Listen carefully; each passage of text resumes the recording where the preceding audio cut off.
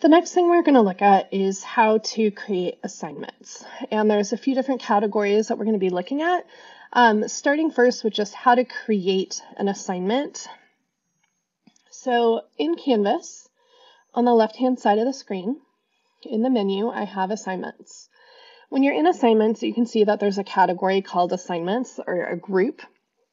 And this is important for teachers to help them organize their assignments, especially if they're doing weighted grading categories. But you might choose to use this for the different types of um, things that you might be sending out to your students. So maybe you have presentations as one sort of group or category that you might do, and you might want to organize your assignments into that particular group. To add groups, you're going to click on plus group, and then you can type in the name of the group. So that could be presentations, and press save. You can edit, so this one that says assignments, if I click on the three dots, I can edit it and change the name, and I could also move them around if I need to. Now, I want to create my first assignment, so I'm going to click assignment. So the first thing I'm going to do is give the assignment a name. So it might be counselor presentation. Then down here, I have the rich text editor box that allows me to add in text, to um, have numbered lists, have links, etc. And what you want to do is make sure you have clear directions for the students of what they need to do with this specific task. So I like to use the numbered list feature. And I might tell my students to um, review the slides, for the presentation.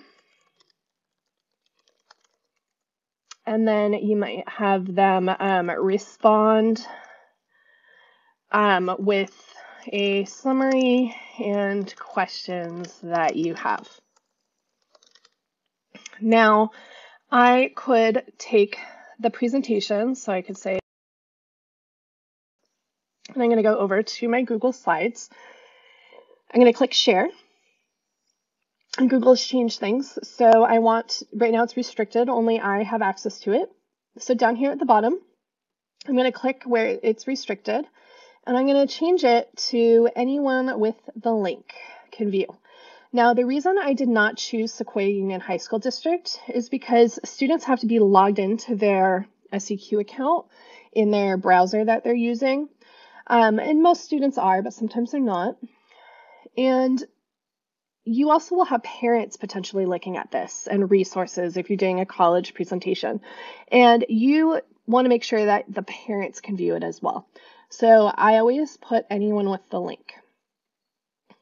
And I forgot to copy that link, so I'm going to click copy the link.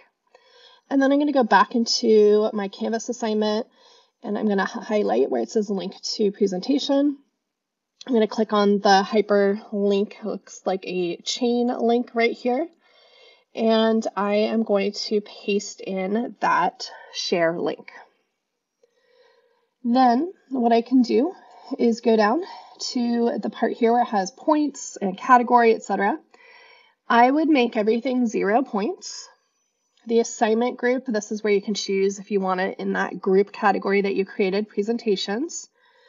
Display grade. Now, um, if you say not graded, you will not be able to monitor whether students have completed this or not. You can do points and you can have zero points. I like to just choose complete, incomplete, but really it doesn't matter because you're not grading it, but you just want to see whether they have um, done the assignment or not. And so in order to be able to track assignments, you do need to have it as some sort of assignment. If I say not graded, students can't submit anything. So I am going to, again, complete, incomplete, or points. I could say I don't want it to count towards the final grade, but it really doesn't matter if you click this or not because there is no final grade. Submission type. So no submission means they're not turning in anything. If you leave it as that, you will not know if they've watched the video or they've looked at it. So you are going to choose online.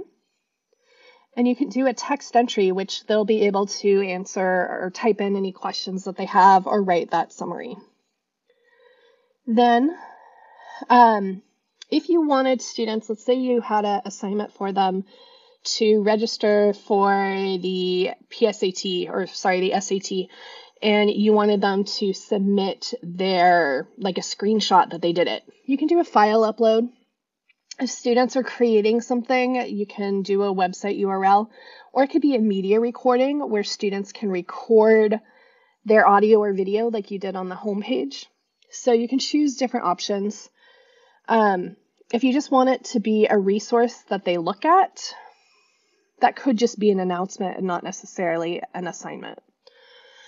But I'm going to go down here. And in the assign to, this is where you can choose who to assign it to.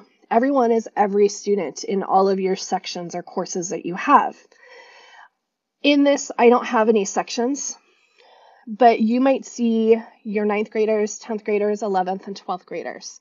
And you can assign it just to the ninth graders or just to the 10th graders, however that works um, at your school site. I'm not sure how you set up your canvases, but you'll see different sections.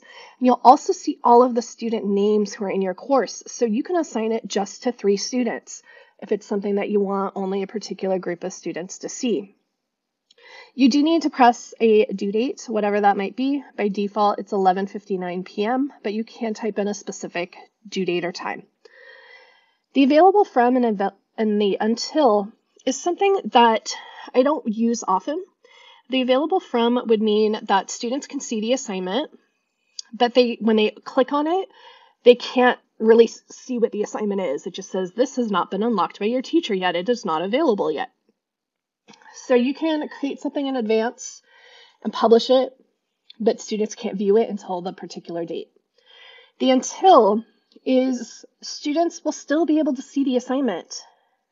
Like if I say until Friday at 3 o'clock, students will still see it next Monday, but they won't be able to submit anything in it. So I generally just always have left these blank. Then, um, if I wanted to assign it to like all of my ninth graders, I could choose ninth graders here. I can click add, and then I can choose like three other students, and I can give them a different due date because maybe they need extended time. I can click here, ninth and 10th in this one line and have one due date, and 11th and 12th have a different due date. So you can play around and you can add different things to kind of separate things up a, bit, a bunch. Now down at the bottom, save saves the assignment, and it's not public to the students. Save and publish would be, okay, I'm all done. I'm ready for my students to see it. So it also will not show up in your gradebook where you can check student progress until it's published, because obviously it needs to be published for students to see it and to do it. Um, so you can choose when you're ready to publish it. So I'm going to say save for now and not publish it. Now this assignment is ready to go, but again, not published. I just have to click publish when I want my students to see it. I can edit to click publish, or I can just click publish right here and now it will be visible to my students.